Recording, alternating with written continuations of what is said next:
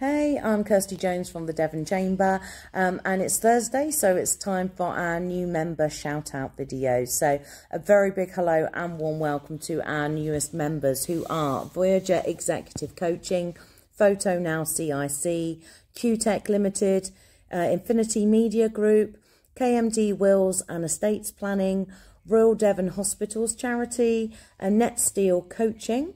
And then um, a big thank you to our reviewed and renewed members who are Anna Lake Insights, South Devon College, iTech, Brittany Ferries, Boosters, Bovey Castle, Total Energy Solutions, Adventure Under Sail, and the Paignton Torquay and Brixham Chambers.